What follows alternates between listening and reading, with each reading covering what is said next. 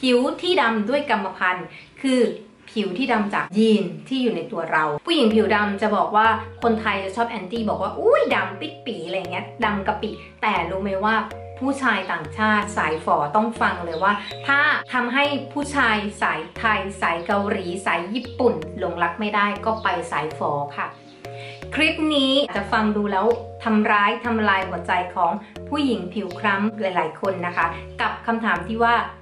ดำกรรมพันธุ์ฉันจะขาวกับเขาได้ไหมนะคะ จะบอกก่อนว่าถ้าเราไม่ได้มีเป็นเม็ดเงินเม็ดใหญ่เหมือนไมเคิลแจ็กสันเราไม่สามารถทำอะไรก็ตามที่มันเปลี่ยนเม็ดสีมิลานินของเราได้นะคะ ผิวที่ดำด้วยกรรมพันธุ์ คือผิวที่ดำจากยีนที่อยู่ในตัวเรา จากคุณพ่อจากคุณแม่ ซึ่ง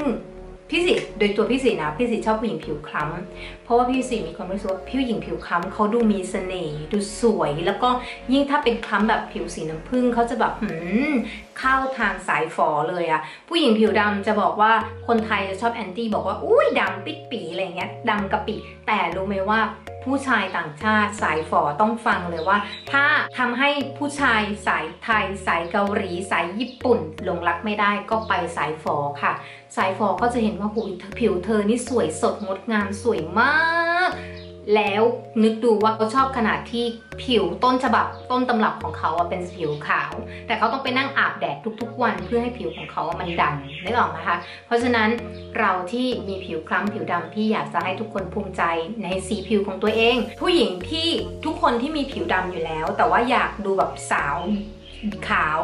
มันทำไม่ได้ สิ่งที่ทำได้คือมันทำให้ตัวเองดูโกลขึ้น ก็คือพยายามเติมวิตามินซีให้กับตัวเองนะคะ ไม่ว่าจะเป็นวิธีกิน วิธีทา วิธีฉีด อะไรก็แล้วแต่ที่จะเป็นการเติมวิตามินซี เพราะว่าวิตามินซีจะช่วยให้ผิวเราสว่าง แล้วก็กระจ่างใสขึ้น นั่นคือวิธีที่สามารถทำได้เลยอย่างเดียวนะคือจะทำให้ผิวของเราสว่างขึ้น มันเป็นไปไม่ได้หรอกที่จะเปลี่ยนคนผิวดำให้เป็นผิวขาว แต่มันสามารถเปลี่ยนคนผิวดำผิวคล้ำให้ดูสว่างเป็น ผิวสีน้ำผึ้งที่สว่างและใสและสวย ซึ่งเป็นเวที่ใส่ฝอทุกคนต้องหลงหลักค่ะ ไว้เจอกันที่สีเดรี่ไม่จำเป็นต้องผิวขาวก็สวยได้นะคะ สวัสดีค่ะ